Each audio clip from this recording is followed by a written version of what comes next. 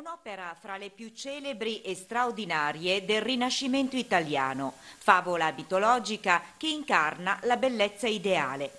È la primavera di Sandro Botticelli, oggi conservata alla Galleria degli Uffizi a Firenze, narrata anche ad Alessandria nell'ambito di un evento organizzato dall'amministrazione provinciale insieme a San Paolo Patrimonio.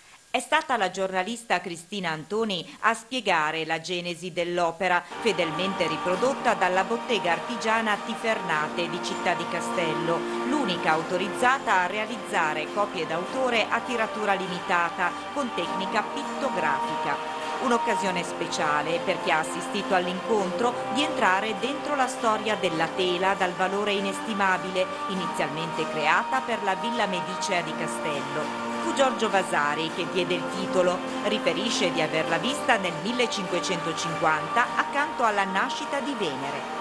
Il pomeriggio culturale alessandrino è proseguito con la dissertazione di Giorgio Coniglio, consulente di San Paolo Patrimonio, su una serie di opere letterarie emblema per il bel paese, dalla Divina Commedia di Dante Alighieri ai Promessi Sposi di Alessandro Manzoni, di cui ricorrono nel 2023 i 150 anni dalla sua scomparsa.